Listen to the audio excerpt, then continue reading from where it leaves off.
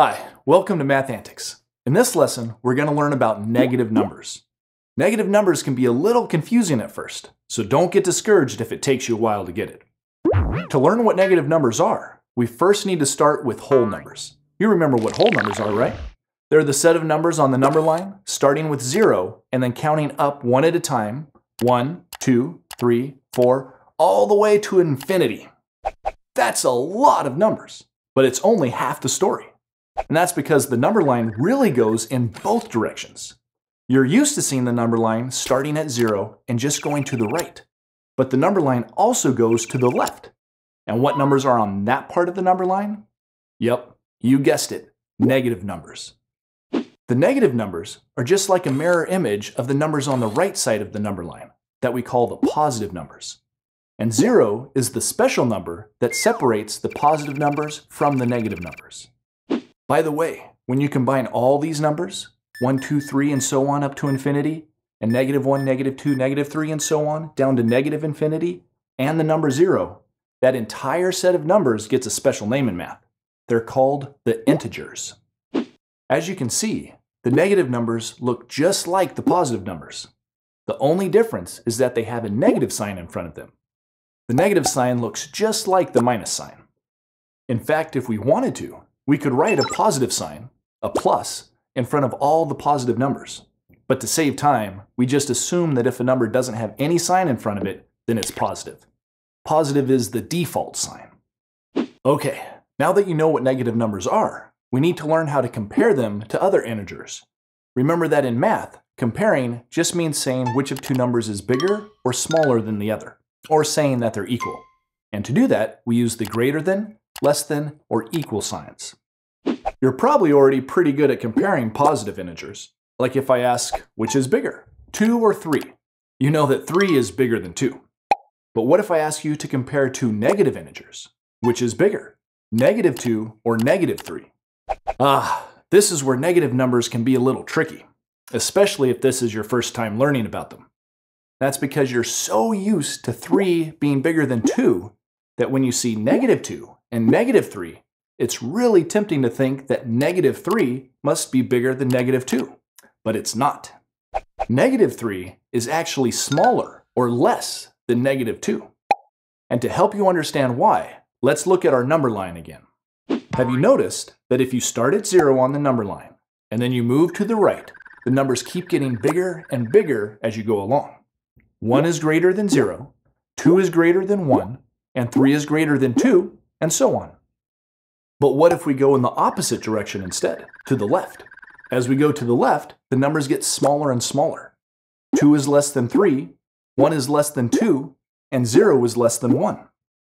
Well, those same exact rules apply to the negative side of the number line also. The numbers get bigger as you go to the right, and they get smaller as you go to the left. So, since negative 3 is on the left side of negative 2, it's actually smaller than negative 2. I like to think of it like this. On the positive side of the number line, 3 is more positive than 2, so it's bigger. But on the negative side of the number line, negative 3 is more negative than negative 2, so it's smaller. And you can use that idea no matter what the numbers are. On the positive side, 500 is more positive than 200 so it's bigger. But on the negative side, negative 500 is more negative than negative 200, so it's smaller. Keep that in mind if anyone ever offers to give you negative $500. The 500 part sounds pretty good, but the negative part, not so much. All right, so the positive integers are on the right side of zero on the number line, which means they're all greater than zero.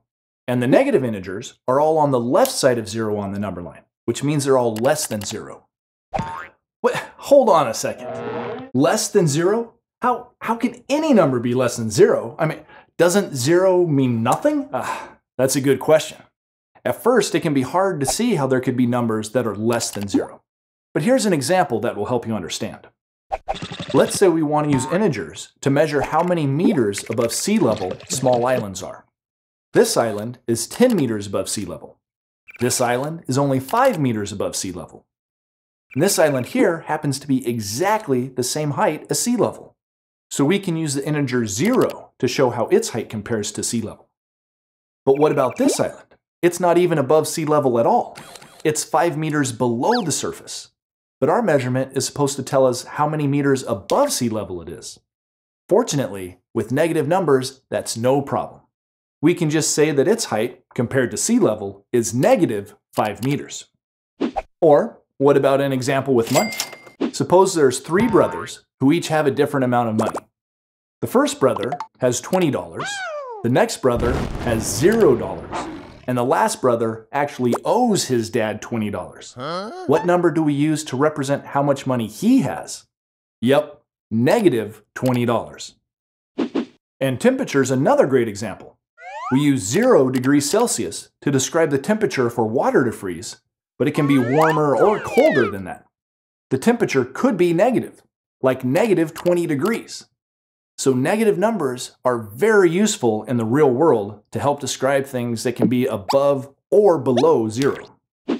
Okay, now that you know how negative numbers work, let's see how we can compare any two integers. If we don't include zero for a moment, basically there's just three situations. You'll either need to compare two positive integers, or two negative integers, or one positive and one negative integer. And you already know how to compare two positive integers, the further right on the number line you go, the bigger the numbers get. 7 is greater than 4, 50 is greater than 20, and 1,000 is greater than 100. It's also really easy to compare a positive integer and a negative integer, because a positive number is always bigger than a negative number. All of the positive numbers are on the right side of the number line, and all of the negative numbers are on the left. So negative 5 is less than 5, and negative 40 is less than 3, and negative 100 is less than 1. The only tricky situation is when you have to compare two negative integers. Then you have to think about which one is further to the left on the number line. Again, a great way to do that is to identify the number that would normally be more positive on the positive side of the number line and realize that it's more negative on the negative side. Negative 8 is more negative than negative 4 so it's smaller. Negative 15 is more negative than negative 10, so it's smaller. And negative 100 is more negative than negative 25, so it's smaller. All right, so in this video, we learned what negative numbers are and how they can be used to describe things in the real world. They're just like positive numbers, but on the other side of zero on the number line. And we learned that the whole numbers, along with their negative counterparts, form the set of numbers we call integers. We also learned how to compare integers. As you go to the right on the number line, the integers get bigger, and as you go to the left, they get smaller. Comparing integers can be confusing at first, so be sure to practice until you've really got it. As always, thanks for watching Math Antics, and I'll see you next time. Learn more at mathantics.com.